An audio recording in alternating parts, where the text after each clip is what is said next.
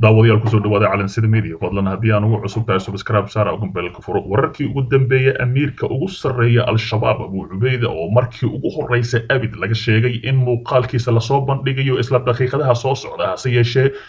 idaacadda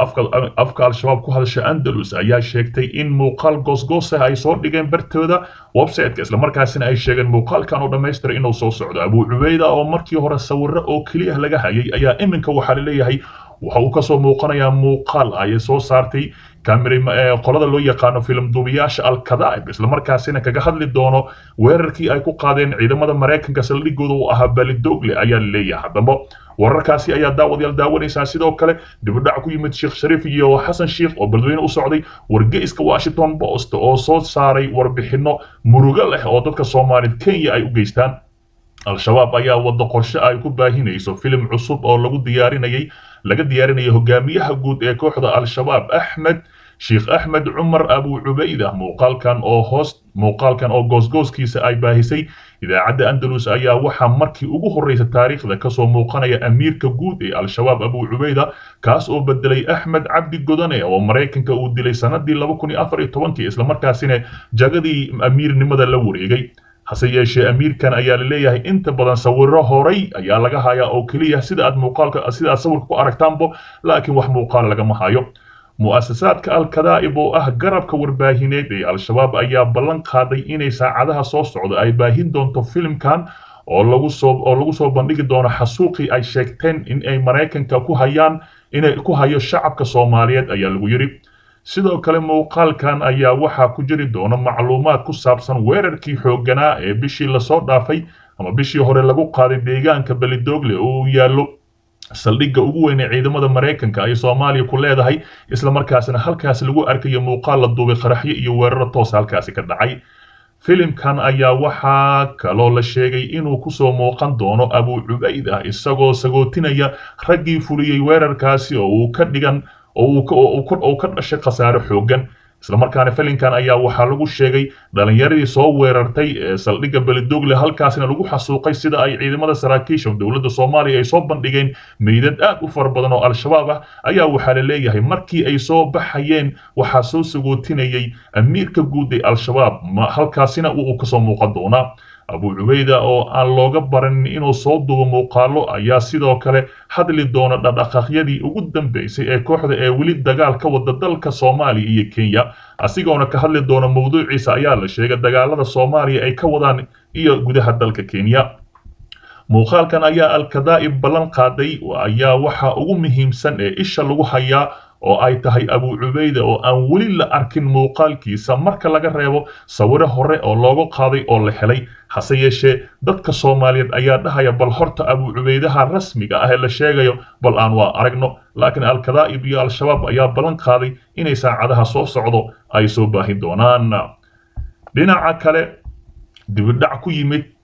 madaxweynayaashii hore ee sheekh shariif sheekh axmed iyo xasan sheekh maxamuud oo u duuli rabay magaalada beledweyne iyo bardaale ayaa la leeyahay sababo ayay ugu baaqdeen. Waxaa goordhow la shaaciyey inuu baaqday safar ay madaxweynayaashii hore ee dalka soomaaliya sheekh shariif sheekh axmed iyo xasan sheekh maxamuud ku tegi lahaayeen magaalooyinka beledweyne iyo bardaale oo biibaxa fatahaad xooggan ay ku dhufatay islamarkaasina boqolaal kun oo dadweynaha halkaasi ka qaxeen ujeeddada dib u dhaca ku yimid safarka labada madaxweyne ee horey ayaa lagu sheegay inuu la xiriiro xirnaanshaha garoonnada diyaaradaha magaalada oo saacadihii la soo dhaafay ay sameeyeen roobab xooggan oo ka da'ay halkaasi isla markaasina wax diyaarada halkaasi ay ka degi karin. Senator ilyaas cali xasan oo xubin sare ka ah xisbiga himilo qaran oo hogaamiyo sheekh shariif ayaa xaqiijiyey baaqashada socdaalka mashaacin xilliga uu wafdiga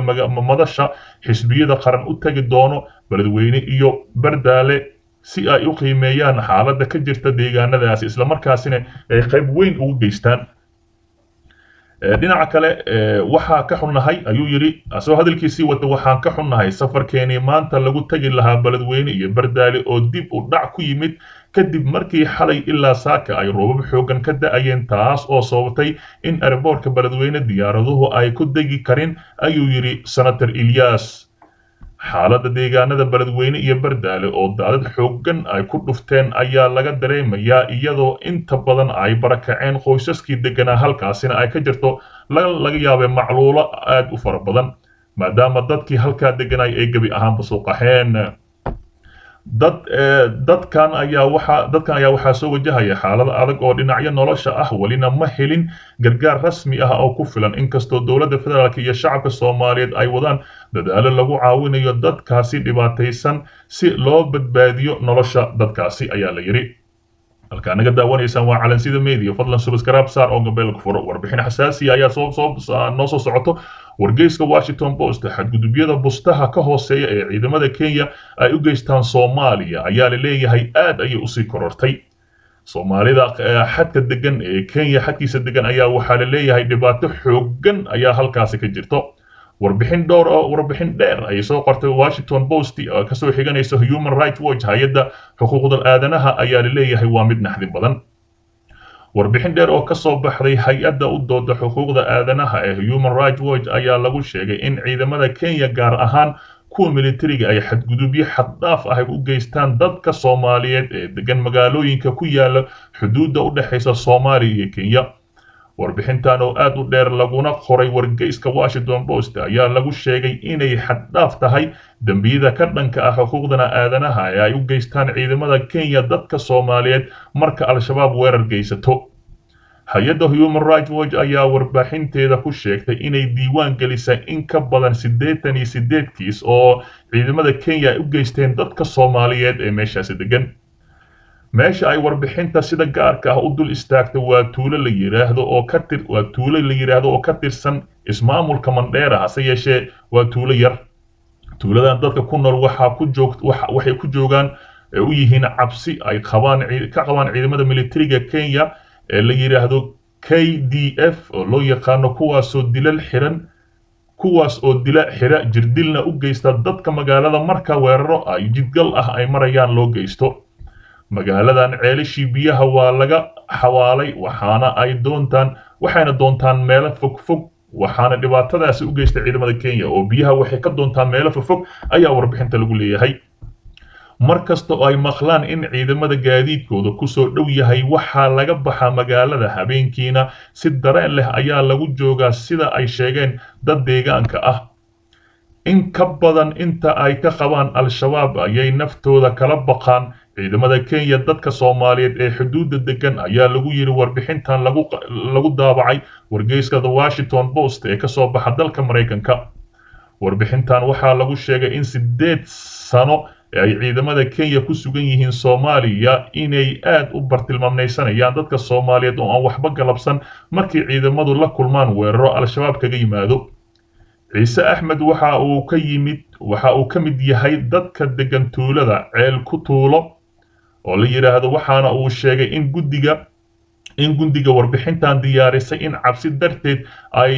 ay qoteen godad ay ku dhuuntaan islamarkaasina marka ay ciidamada soo maraan halkaasi ay godad ku dhuumanayaan. Wa waxa uu yidhi ciise waan cararnaa oo dhuumannaa mar kasta oo aan helno war sheegaya in ciidamadu soo socdaan ayuu yidhi ciise dadka halkaa degan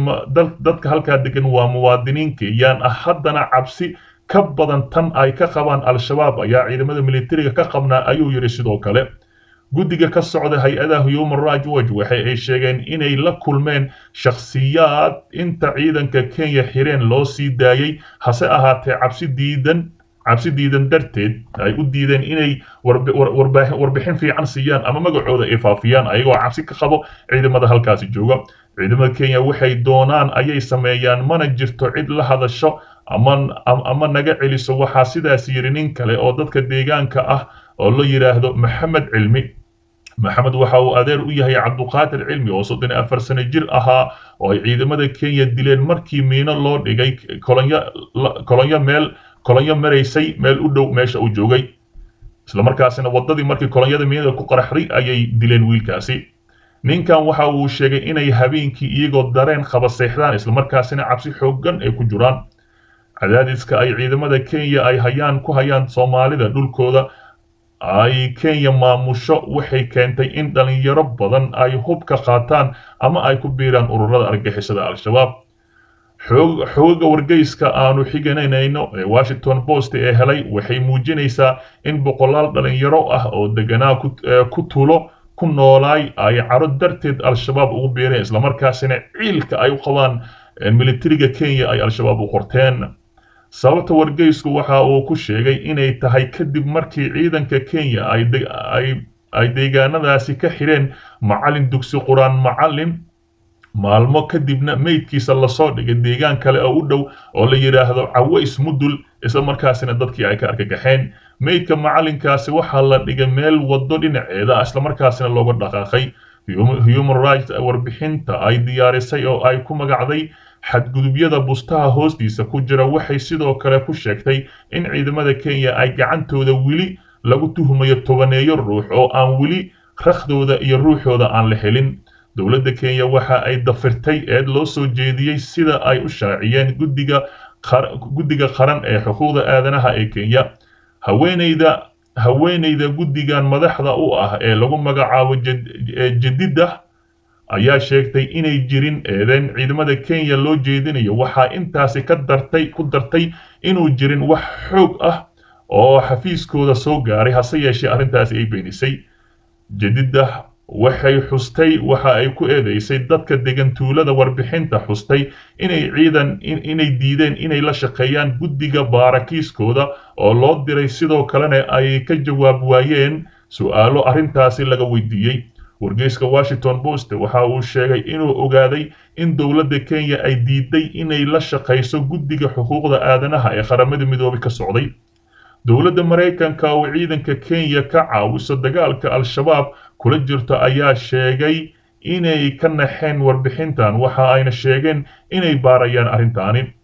Afhayeenka u hadla taliska ciidamada maraykanka ee africa daris farama ayaa sheegay inay ciidamada kenya baaraan ilaalinta xuquuqda aadanaha ayuu yidhi dadka falanqeeya arrimaha ammaanka waxay aaminsan yihiin in haddii ay ciidamada kenya sii wadaan dhibaatada ay u geysanayaan dadkan shacabka ah ay cadowgooda cadowgooda badsanayaan waxaana ay keenaysaa al-shabaab ka faa'iidaysato oo ay dhallinyaradaas badan ay qortaan dhowr mar ayaa dhowr mar ayay soo baxday eedda ah in ciidamada kenya ay ku xadgudbayso dadka shacabka ee ku nool magaalooyinka xuduudda ku yaalla ee xadka iyo gudaha soomaaliya